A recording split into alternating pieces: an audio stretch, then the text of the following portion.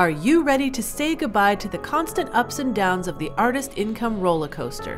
Whether you're a full time artist who wants to increase and stabilize your income, a part time musician who wants to go full time, or a hobbyist who needs to fund your passion projects, this podcast will equip you with the tools, resources, and inspiration to make it happen. My name is Bree Noble.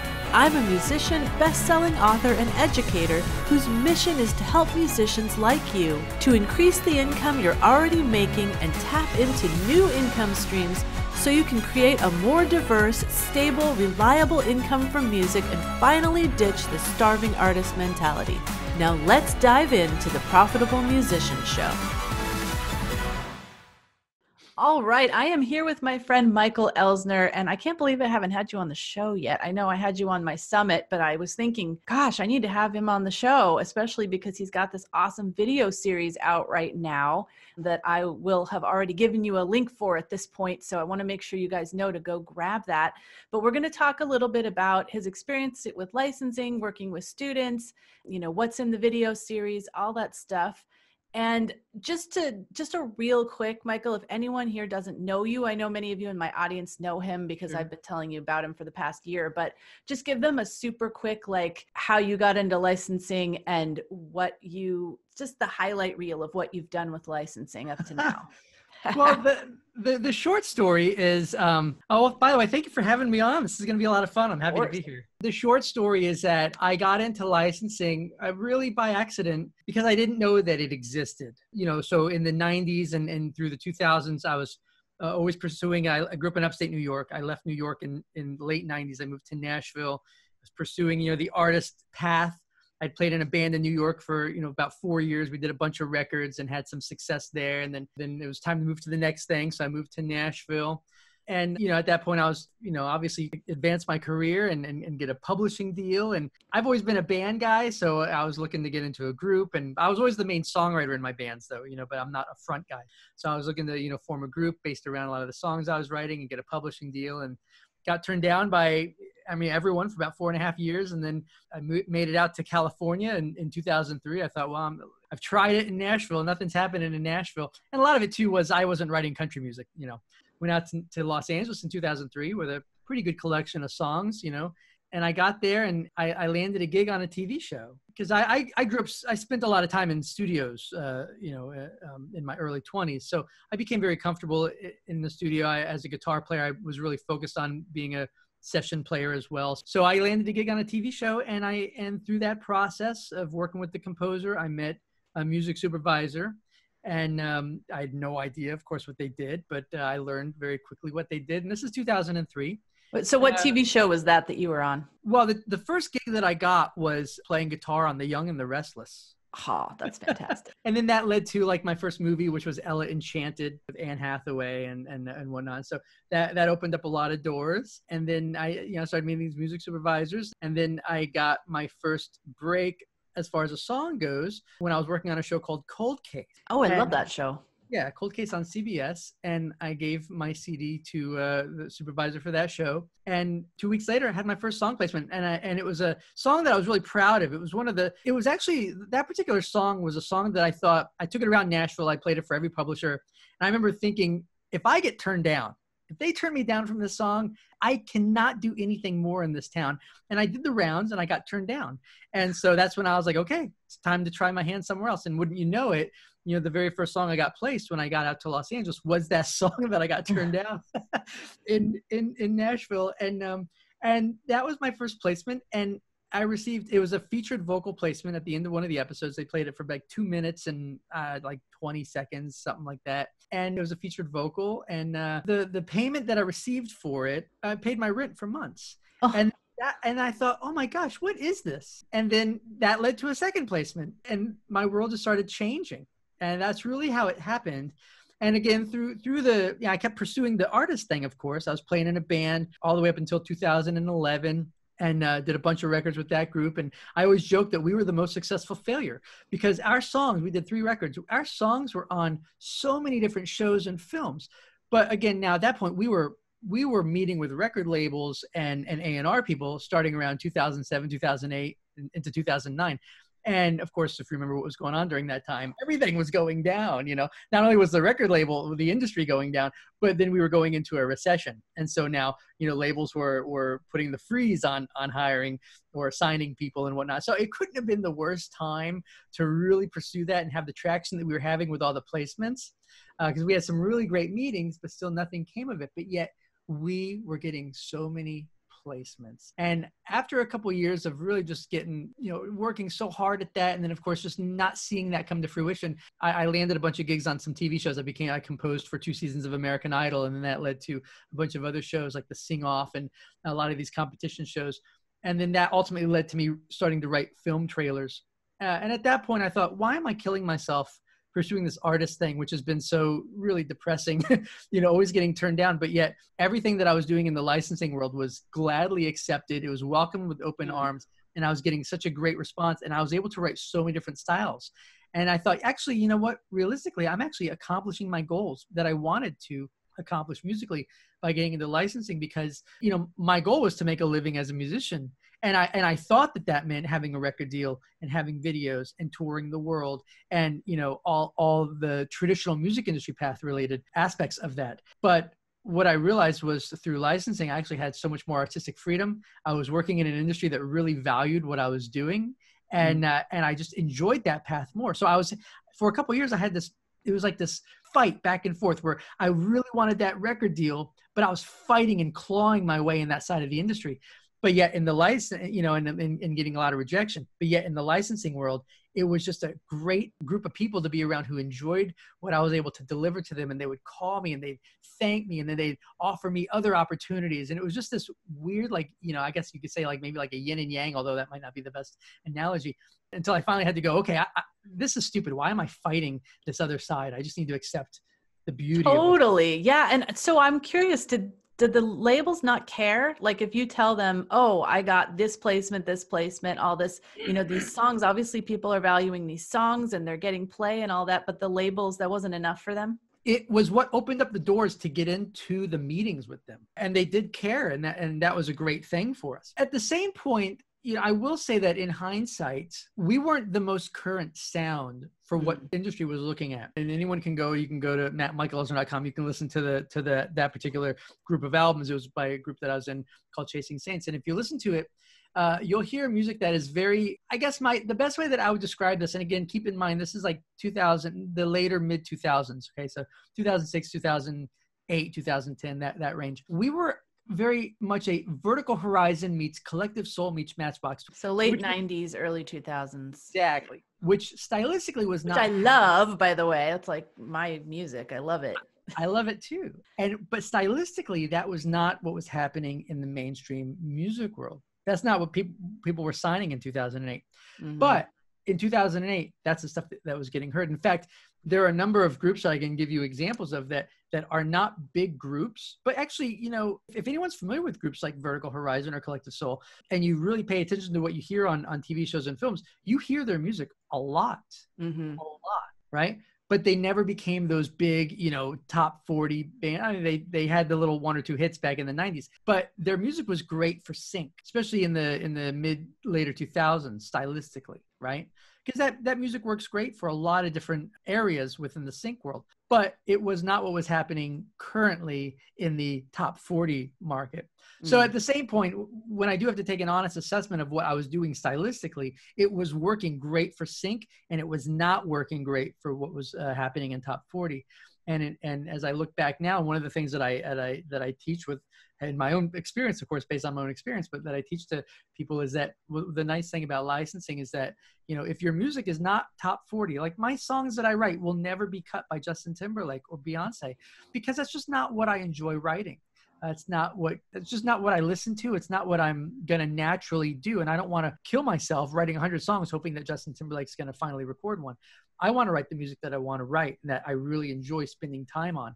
And and the nice thing about sync is that there's a lot of opportunity for lots of different genres and styles of music and you only have to just start listening to the different tv shows and the different commercials that you're you know that you're in front of literally every day uh, really over the next week or so to really get an idea of what's working stylistically in in the licensing world totally yeah and I, I mean i love that because I know for me, like I could never change. Like I wanted to be a certain thing because I wanted to be popular, but I just don't write like that.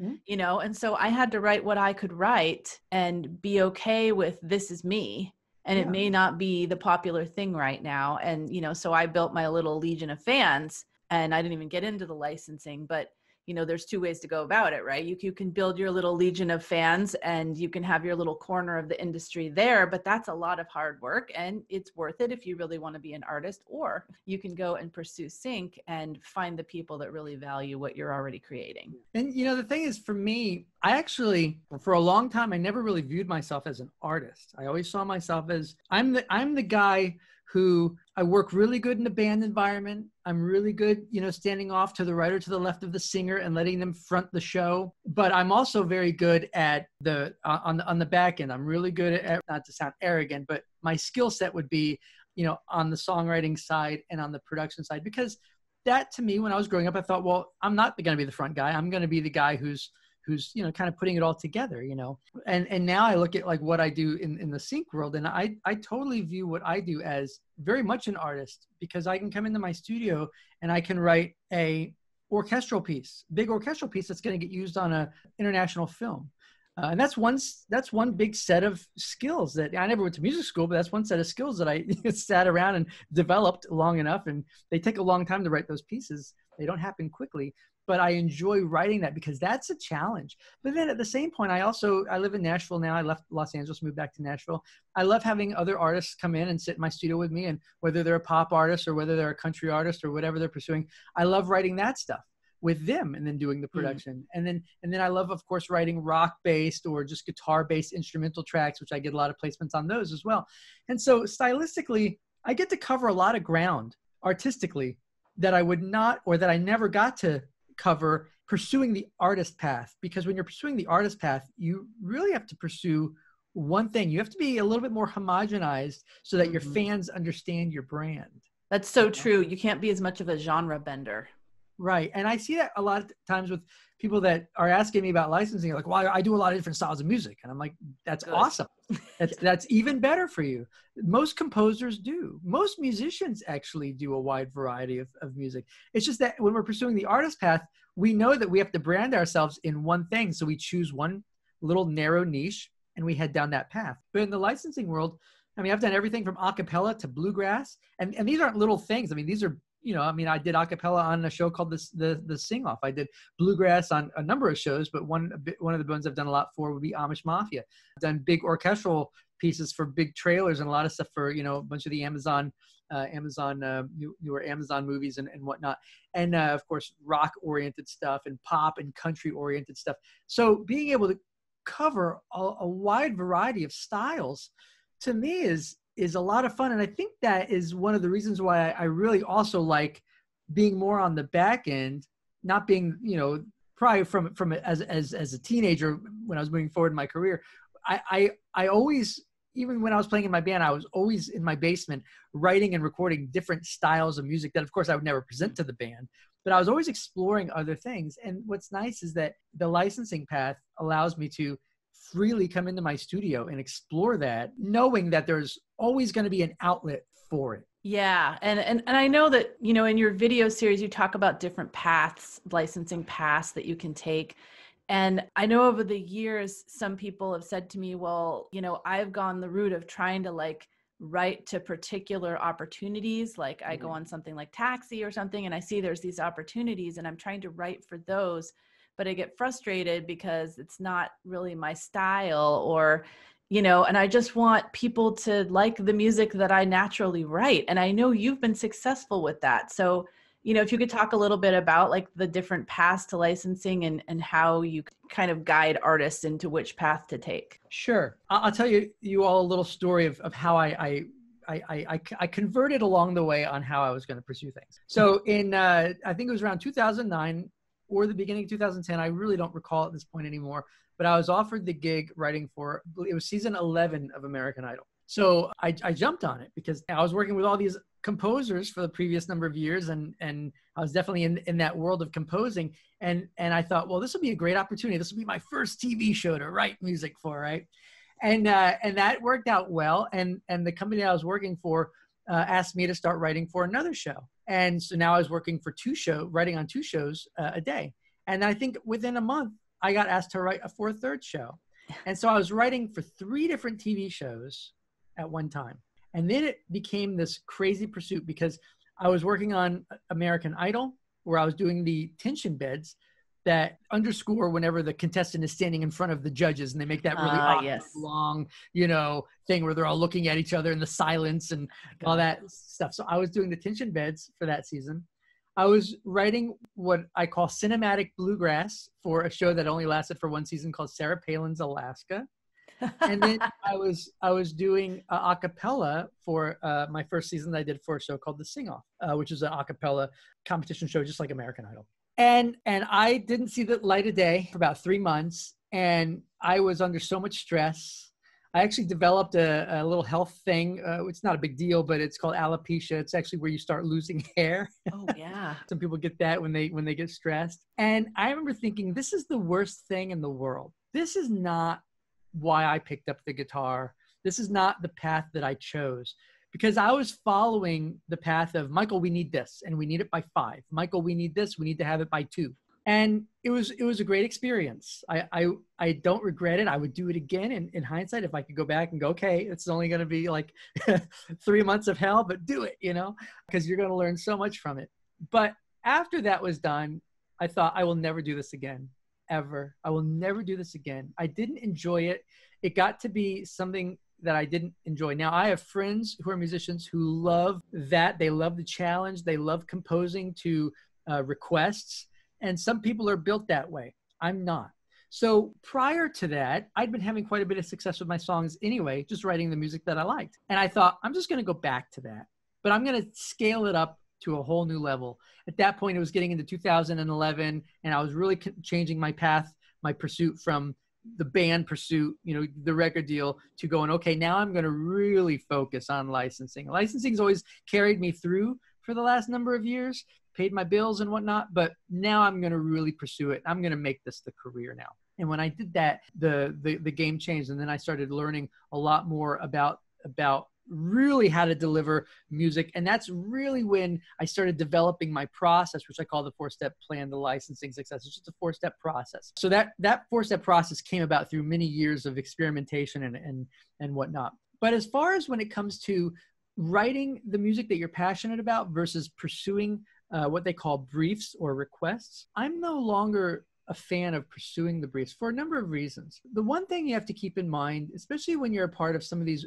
organizations, and I'm not saying anything negative about any any of them in general, but in my experience, the licensing world works very, very, very quickly. If there's a request that goes out, they really have that need within the next 24 hours. So when you're getting these briefs from these other agencies, you know, uh, we're looking for this, send it in by Thursday, and it's, you know, the previous week's Wednesday that to me is one of those things where I, I, I don't have a lot of I don't personally put a lot of stock in that particular brief because it's been my experience that that request was already fulfilled before you probably even saw that. So that's again that's just my experience. The licensing world works very quickly. And the other thing that I've learned is that and this is one of the things that you know you just brought up where I talk about the paths to placement. That's actually one of the very first things I talk about in the very first video in this series. I talk about the four paths to placements. And the very first path to placement that a lot of musicians think about is directly to music supervisors. I just want to get, you know, my music in front of music supervisors, you know, and that's great. And I totally understand that. That's exactly how I started. However, what I've learned over the years, and I've been teaching this, I've been speaking about licensing for, I mean, well over a decade uh, at conferences and whatnot. But the thing that I've learned is that while a lot of musicians know what it is and they know how profitable it can be. The reality is that they don't understand the business enough to actually fully represent their music to a music supervisor. They mm-hmm. don't understand that if a music supervisor is offering you a contract, a licensing deal, and it's two o'clock on a Thursday, they're going to send you an email at two o'clock on a Thursday because they need it by five o'clock that Thursday. You need to be able to check your email quickly. You need to be able to download that contract and read it and agree to it or renegotiate something and come to an agreement within the next two or three hours. Because if, if they don't have that deal by five, they're going to go elsewhere. This is a right. very fast. You don't have time to call up your music lawyer and ask no. them to look it over. Yeah. You don't. And so for me, you know, I, I've been doing this a long time and I, I, I managed my entire contract. I'm sorry, my entire catalog. I administered my catalog fully until around 2011. And since 2011, I haven't touched administering my catalog. I work solely with a group of libraries. Various portions of my catalog are in various libraries. And I know a lot of musicians don't like to do this. They don't like the thought of giving away, you know, I don't want to give up the rights to my music. Well, you're not giving up the rights to your music. You just don't understand publishing enough to understand how you're not giving up the rights to your music. Just because you're signing your music over to someone to administer your catalog for you doesn't mean you're giving up anything. At the same point, you have to understand a little bit of the business so that you can let a team of people market and promote your music catalog for you. And for those who are new to this, I'll give you the best analogy that I've, I've ever been able to come up with when it comes to music licensing, because we all understand real estate. I think at this point, it's safe to say that most of us understand how real estate works. And licensing and real estate are the exact same business model. Okay. The only difference is that when you're selling a house, when you sell it, you leave and you don't go back to it, right? Mm-hmm. It's it's that that whole deal is closed. But with licensing, when you are licensing your song, you still own it. It's kind of like it's kind of like renting out your house, but you still get to live there, right? And you never get to see the guests. But as far as the actual business of it, it's just like real estate. Most people, if you're going to sell your house, you're going to want to get the best deal you can for it. Well, how do you get the best deal? Well, you bring in a team of individuals who know the market, who have their marketing and distribution channels in place, and those are called realtors, right? And you bring them in, and they're going to get a percentage of that house sale. But at the same point, you get to continue on with your daily life and not worry about selling your house. They're going to do all the work for you. So you can go to work. All you have to do is keep it clean so that if they come maybe to show it throughout the day, you know, they, they, they go and they show a clean house. But other than that, you move on with your life and all is well in the world.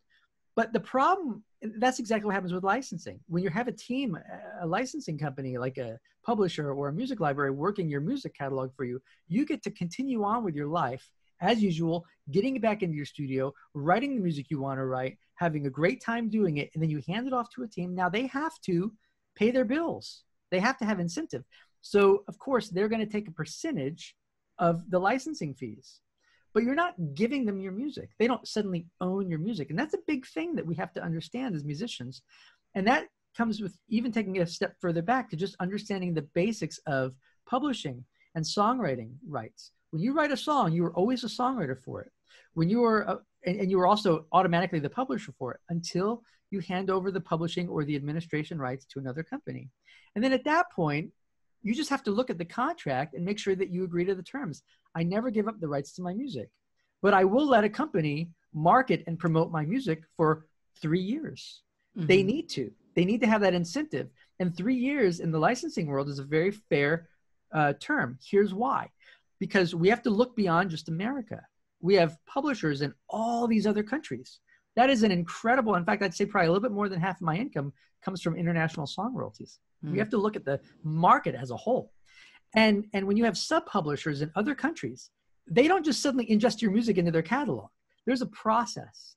And, and if I if I deliver my music, say right now to my publisher today, it probably will not be available for probably about another two to three months. It's just how long it takes to go through the system, get up into the into their system for the team to be familiar with the with the record, for you know everything to be in place. And it'd be the same thing with a record label. You finish the record today, the record label takes a couple months to get everything in place to release that record, for everyone to get familiar with it, to understand what's in there, to get all the everything in, in, in place. So then once that's up in the in the say the American world with my American publisher, then it goes to all the sub publishers in other countries that could be a six to nine month process. So the reality is, if we say, well, I'm not going to sign anything longer than a year, okay, you've not given any of the people working your catalog, any of the team members, any incentive to work your song. Mm. Because by the time it finally gets ingested into the final sub publisher's catalog, that deal is over and it's going to come right back out. So you really need to look at this as I, I think a three year deal is extremely fair. After three years, the rights revert back to you, or you can continue on. So you're never giving something up. At the same point, this is just licensing. So they're only representing your song for placements. You can put your music up on streaming, you can sell it, you can do whatever you want. They are not a record label. So they're not taking on the record label responsibilities. And it's important to make that distinction when you're licensing your music. The people who are you're working with in the licensing world are not working in the music industry. So you don't have to worry about all these things conflicting with each other. They're not mutually exclusive. They they each work separately from each other. Yeah. And I always say, you know, like 50% of something is way better than 0% of nothing. because if you don't know how to get these licensing placements and you don't have time, like say you had, you'd created 20 songs and then yeah. you spent all of your time trying to get them placed you're not create, creating new music and as licensors we need to keep creating right because like you said feed the pipeline so you're 100% correct. And and to give you the the thing with with how I teach licensing is, you know, I have my process. Other people teach it. They they share their process. Their processes are different than mine. I'm never going to be guilty of telling someone to do something that I haven't done. And for me, when I handed my catalog over to a publisher, and again, I, I look at it as a team. This is a team event, by the way. I'm a, I have a relationship with every single person at, at those companies. I have their numbers in my cell phone. I have their emails in my in my email. I have direct contact with them. One of the worst things that you can do as a musician is go to a website, sign up, log in, and suddenly be working with a company. Mm. You're a number. Actually, you don't even know who you're contacting with, who you're in touch with over there. If you don't have a personal connection with the people working your music, then, then you're with the wrong company. You're with the wrong team. You're actually not even really with a team. You're really with a music collection agency that's just trying to collect music. At the same point, we also have to think of the gatekeepers. You know, anyone can just go sign up for some of these different companies and upload their music oh i'm being represented by this company now. Did they really even listen to your music? Do they really even know what that's good for? Did are they inputting the metadata for it? I guarantee you they're not. Are they having you input the metadata? Most likely. Do you know what metadata is? Do you understand how editors and supervisors are searching for music right now? What the key terms that they're using right now are? What what's popular? What's trending? If you don't know those answers then you should not be doing this yourself. And that's the thing I hear from a lot of musicians who are like, I tried licensing my music and I sent my music out and I never heard back from anyone. Of course you didn't. Of course you didn't. You didn't deliver music to them in any way that made their life easier or supported what they were working on currently, right? You just bombarded them and blasted them with your songs. Of course you're not going to hear back. So so there is a process and and it's it's important to keep in mind. I don't want to I'm, I'm not trying to sound harsh about this, but I do want to make sure that your listeners, everyone listening, understands that we're used to, as musicians, a certain pursuit. Okay. So, and I call it the traditional music industry path. And that path is a two step process. We finish our song. Okay. We just finished our record and now we're going to send it out. We're going to send it out to A&R guys. We're going to send it out to publishers. We're going to send it out to record, um, and sorry, uh, radio stations. We're going to send it out to maybe some magazines and get some reviews. It's a two step process. Finish the song, send it out all right? Package it up into a cd you know and of course send the cd out. That is not the way that the licensing world works. In the licensing world it's actually a four step process. For step one of course is finish your song. Step four is send it out. The two steps in between are what creates the value so that the editors who are sitting at an edit bay in a studio and they're in, in, in, a you know a little cool vibed out studio and wherever they're at in probably california or something like that they're watching a scene and they're they have a list from the director or the producer of what style of music they're looking for in this particular scene. These decisions have been made really before these scenes were even filmed to be honest with you because music is the last step of the process. Mm. so this isn't just something that happens on a whim. There was a lot of thought put into every single thing that they're looking for in every particular scene. So there's an editor who's looking at a sheet of paper that says, okay, in this scene, we're looking for music that's happy and upbeat and and very youthful, and but it's got to have a female vocal, and they want a glockenspiel in it. Okay, all right. So the director wants a glockenspiel. That's fine, and a ukulele. Okay. So so the editor now is going to go into his search function, and he's going to type in glockenspiel, ukulele, female, youthful. He's going to type in these keywords. And he's going to search through hundreds of thousands of songs. And if your song does not have this type of descriptive metadata attached to it, it will not show up in their search. You will never get your song license. So that's one of the key things that, that we don't have to do in the traditional music pursuit. We don't have to add metadata to our songs when, when we send it out to a, a radio station or to a, a magazine to get a, a review for our record, right? The other thing too is we have to also understand the role of our of our editor you know there's dialogue happening in the scene. Maybe the editor needs some instrumental section underneath the dialogue and then once the dialogue ends they need to then go into the vocal version. And you hear this when you start listening to tv shows and commercials and stuff like that. You're going to hear sections where there's a lot of instrumental music and then it's going to transition right into say like the big chorus. Well how did that happen? It's because there was an instrumental version and there was a full version. Or maybe there was an acoustic version and then there was a full version and the editor is going to line them up and right at that up that right moment he's going to do a crossfade between them that's the value of what i call delivering valuable content that's actually step two of my process and that's what makes your again your your music extremely licensable now, most musicians don't understand this, so they don't send out their music with metadata.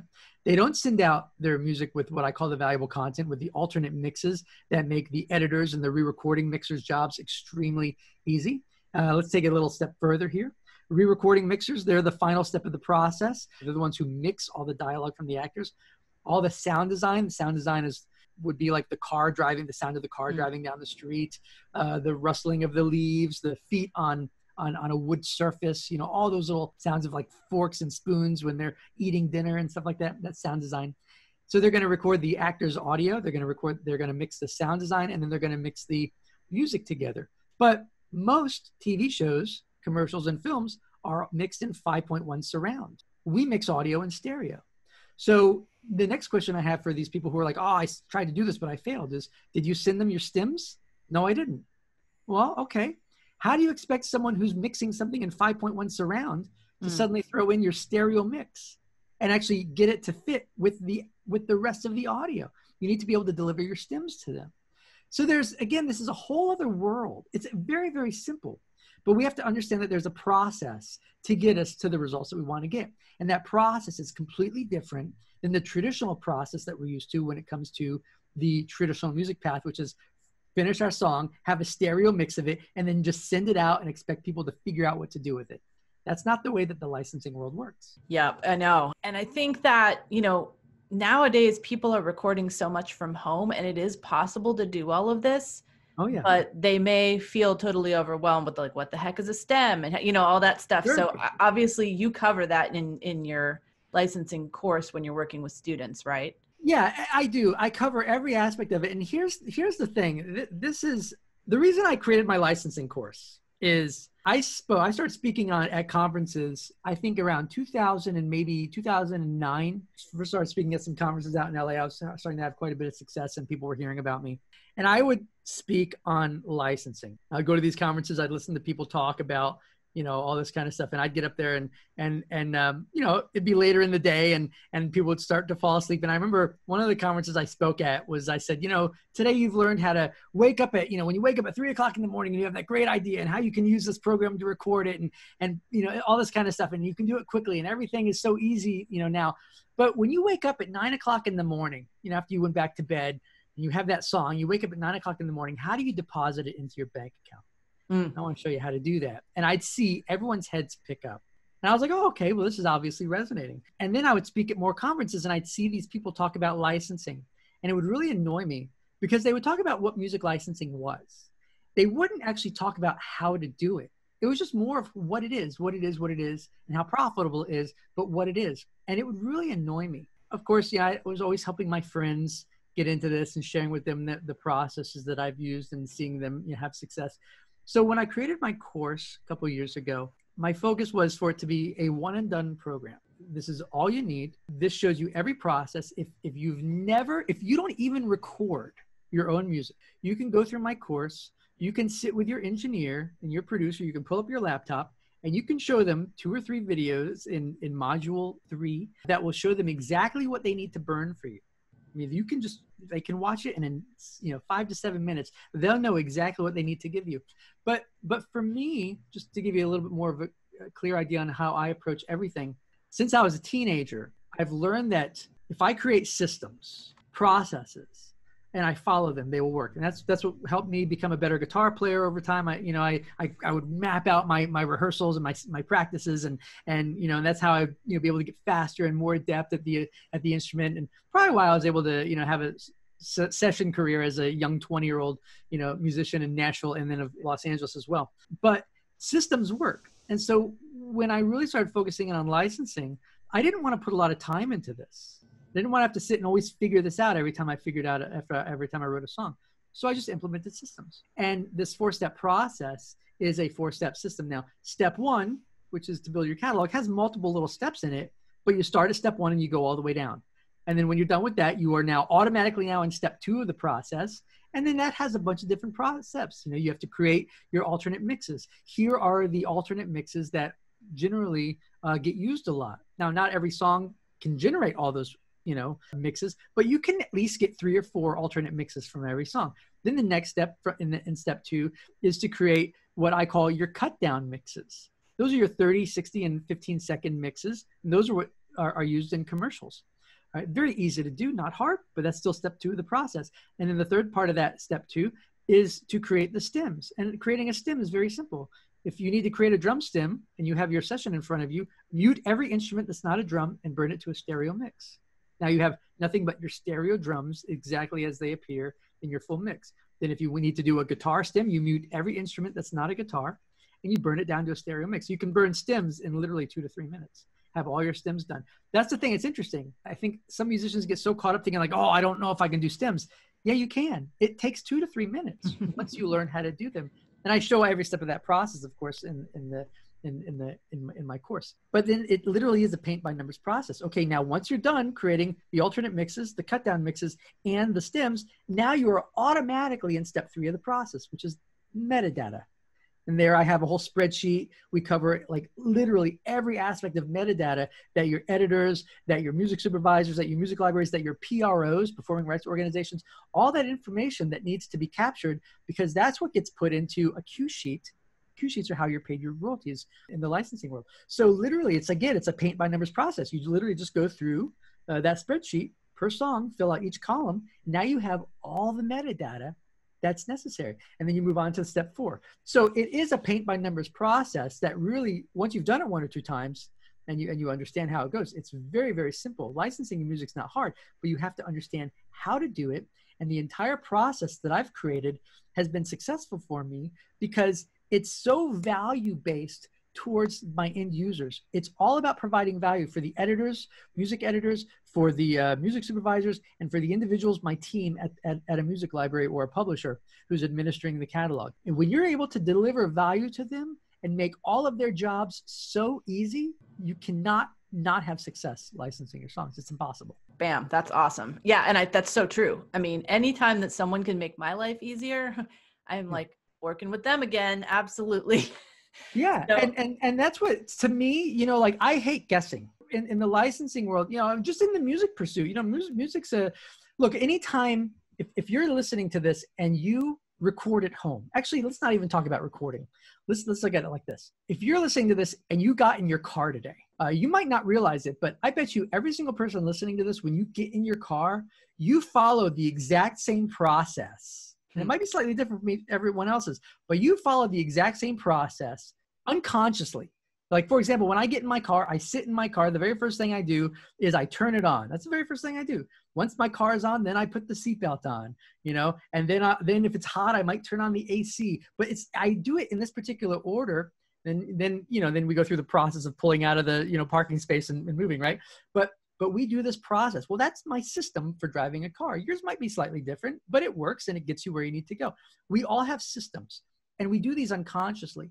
When it comes to licensing or anything in any career that, that we're pursuing, if we can create systems that get us to that goal that don't require a lot of thought, I mean, it requires thought putting it together, but once we have it down, then we just follow the process. That's how we have success. As, as I've been talking with Bree, right before I, I came on for this interview, I went to Starbucks at the bottom of my hill and I got myself a green tea latte. And I've been to Starbucks all over the world, from Shanghai to you know Germany to er, virtually every state in America, and every green tea latte tastes the same virtually. Other countries might be a little different because they're getting their their matcha green tea somewhere, but the process of creating that green tea latte from Starbucks is the same. That's why I can go to the same one here in America, or not the same one, different ones here in America, and it will always say the same because they have a system in place. And it's the same thing with McDonald's or any fast food restaurant. You know, teenagers run these places pretty much, but they all follow the exact same prices, they the, the same process. That's how we have that consistency from from location to location. And that's why people buy franchises because exactly. they know it's successful. They're going to be given a system. They're just going to follow it and then they can just yeah. start making money. so essentially, I didn't even think about it, but you know, the, my licensing process is like a franchise. Yep. Yep, I love that. I love that.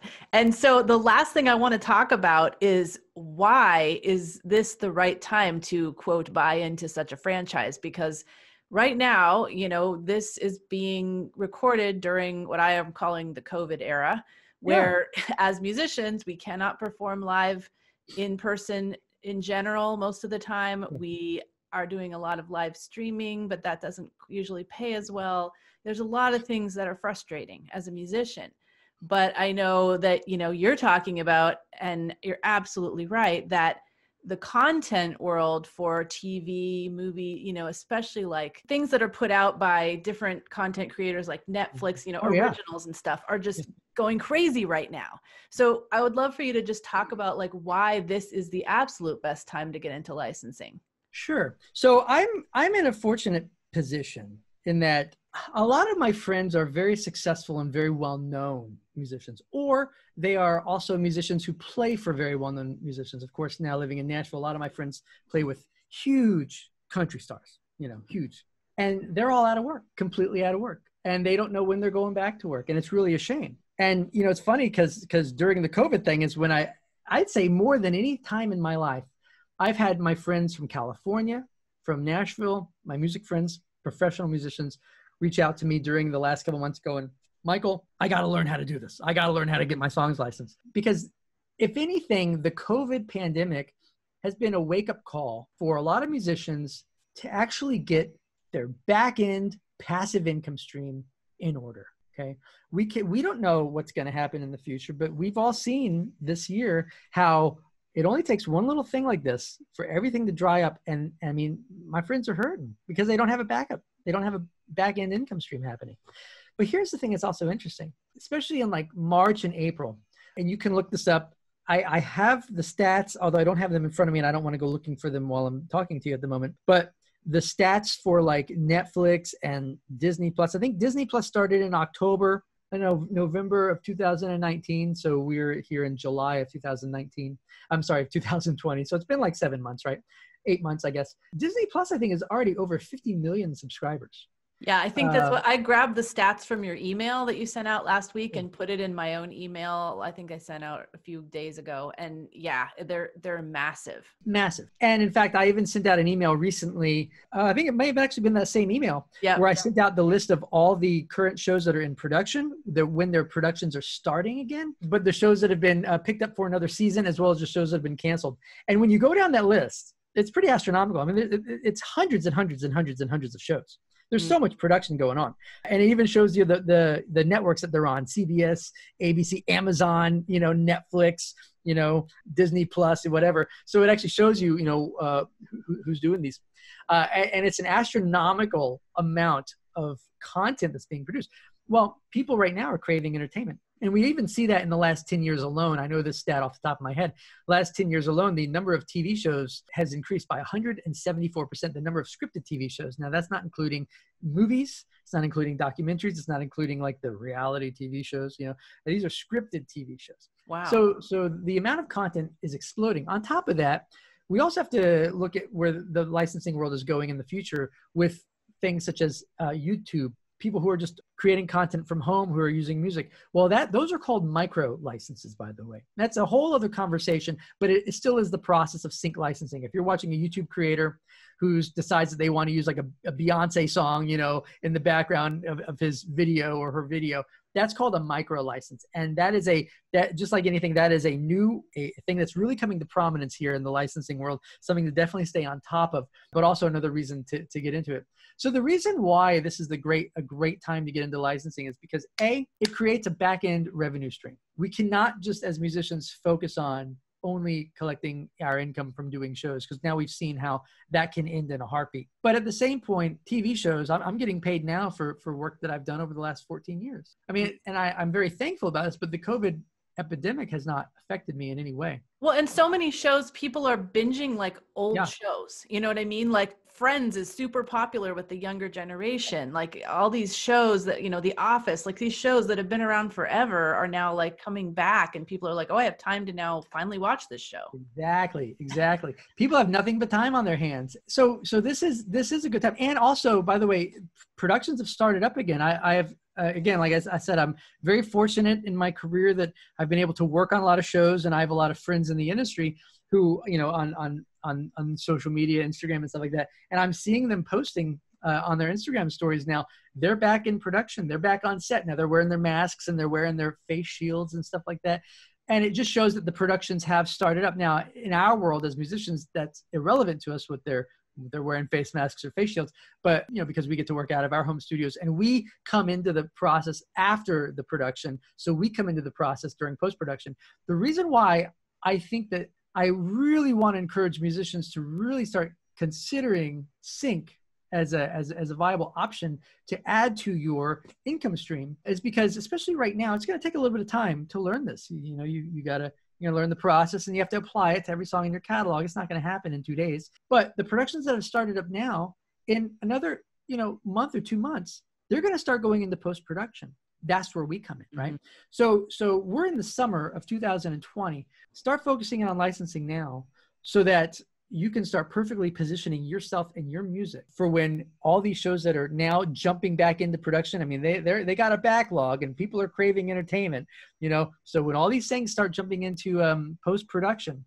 come September, October, November, you can be in the game. You can actually be in a contender to get your songs placed. And it's not just about blindly sending out your music to a supervisor and hoping that they figure out what to do with it. That is the reason why you will never hear from someone. And that's the problem a lot of musicians are like, well, I sent out my music and I never heard back. Well, what did you do? Well, I sent them an email with a link to my song. All right, you're not going to hear back. You didn't deliver music to them in any way that they could use it. Yeah, totally. And this is the time for you to get your your crap in order yeah. and get your metadata settled for all the stuff you already have. Get your stems. You know, follow Michael's process. Yeah. And like you said, you will be ready and you know and, and be able to to get connected with libraries and publishers that really and, and one thing that I would like to add to every, everyone listening is that, uh, you know, it does sound good. This sounds exciting. Uh, licensing is, is, a fun world. It is exciting. Definitely, I'm not going to sugarcoat it. I mean, it, it, does require work. You have to write good music. Your productions have to sound good. You can't hand in demos with out of tune vocals and stuff like that. You know, you're playing. Uh, uh you're playing with, in, you know, in, in the big leagues you're playing with big productions that spend millions and millions and millions of dollars on on their on their shows and whatnot so you are playing in the big leagues the nice thing about it though is that your music is valued and you are paid accordingly which which is a wonderful thing for us as musicians because there really are very few other outlets where we do get paid accordingly both on the upfront fees the upfront licensing fees and of course then on, on the back end royalties. At the same point the other thing that's wonderful about licensing and, and this is a part of my story that for a long time i looked at my career as a failure because you know i went to nashville and failed. I went out to la and i failed. I never got the record deal. But in hindsight i look at it and i go i'm very thankful that I landed into the licensing world because it gives me an opportunity to do the stuff that I love. I still get to come into my studio and play guitar, and that's what I love to do, and write and record music. The wonderful thing about it for you is if you did not have success in your path or or whatever, or you didn't get to the point that you wanted to, or you know maybe someone said something stupid like "Oh, you're too old" or or whatever, you know, or your music's not top 40. The great thing about licensing is that this world accepts you, and this this world doesn't matter how old you are, doesn't matter what you look like it doesn't matter if a record label turned you down or anything like that. What matters is one very simple thing. It matters whether or not your music complements and enhances the story and the emotion that's happening on screen. Nothing else matters. What you look like, what clothes you wear, it's completely irrelevant. I'm so glad you said that because um, we just had an episode very recently about not letting your age hold you back. And, you know, the people that listen to this show, they're of all ages, of all backgrounds, of all genres, and yeah. there is a place for you in licensing. So that's exciting, exciting. Yeah, it is exciting, and and and uh, and just just one one little one little, and then I'll, I'll be quiet here. But but one little um, thing, if you take anything away from this, I, I will give you one assignment right now. This is the first assignment that I give anyone, because of course a lot of people will will ask, you know, well, well, is is my music good enough for licensing or anything like that? Uh, where does my music fit in?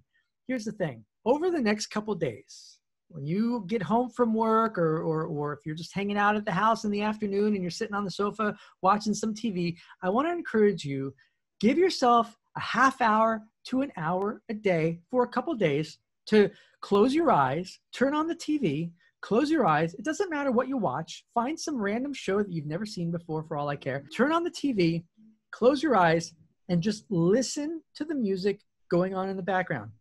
When it gets to a commercial, don't get up sit there and listen through the commercial because commercials will pay you a lot of money. Commercials are probably going to be some of your biggest money makers. So pay attention to the music that you're hearing in a commercial.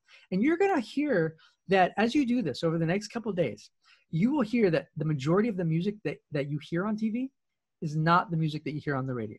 You're going to hear a wide variety of music uh, across multiple different styles, across even multiple different eras. You might watch a show that's that's using a lot of throwback 1980s music. You might hear something that's using stuff that's like jazz from the 1920s, right? All of that stuff is created by people just like you and me, musicians who are just independent musicians writing the music that we love to write, and it's getting licensed for these shows. So start listening to TV. Stop watching it. Give yourself some time every day to just listen to it. Okay, guys, that's your assignment. Not usually do you get assigned homework to go watch TV or listen to TV. So I hope you enjoy it. Check out some different shows you would never normally watch and then watch some of the ones that you love and don't watch them. Just listen because it's going to be super valuable. And then your second assignment is to go sign up for Michael's video series. It is really good. I've watched it front to back several times. Very, very helpful. He talks specifically about the four paths and metadata and all those important things and what kind of songs they're looking for in licensing and everything. So go to femusician.com slash Michael, femusician.com slash Michael, and get into that video series. Do it ASAP because it's only going to be around for a few more days. Thank you so much, Michael. This has been awesome. Awesome. Thanks, Bree. I always love talking to you. Me too. Thanks for listening to the Profitable Musician Show. I would love to know your takeaways and aha moments from this episode. Leave me a comment over at profitablemusician.com so I can bring you more of the information, interviews, and resources that you love. Thanks to Randi Fay, one of my Academy members, for providing the music for our podcast. You can check her out at randifay.com. That's R A N D I F A Y.com. Just remember, knowledge is power, but without implementation, it is useless. And inspiration without action is merely entertainment. But I know you're not just a dreamer, you are a doer. And I promise I'll be here every week to support you and remind you that you can be a profitable musician.